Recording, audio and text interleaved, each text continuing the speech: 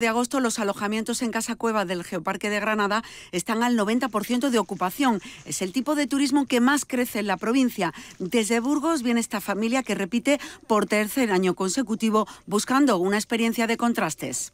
El paisaje, luego las cuevas son muy fresquitas. Y siempre vamos a ver las cárcavas del Marchal.